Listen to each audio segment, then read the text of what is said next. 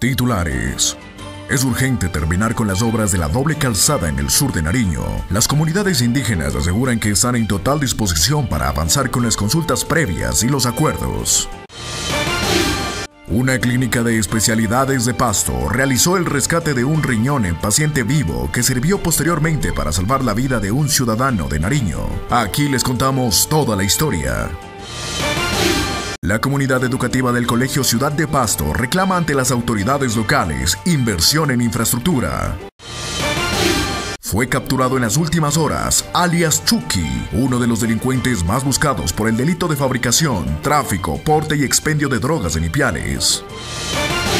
La Secretaría de Infraestructura de Nariño anuncia importantes inversiones para recuperar la vía al norte de Nariño entre Albán y San Pablo. Un drama vivió una familia ecuatoriana que fue seguida desde Ipiales y atraca en cercanías al puente internacional de Rumichaca.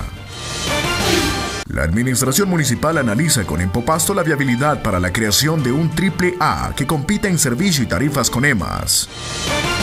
El Ministerio de Comercio, Industria y Turismo anuncia ambicioso plan de apoyo al corregimiento del Encano y la Laguna de la Cocha.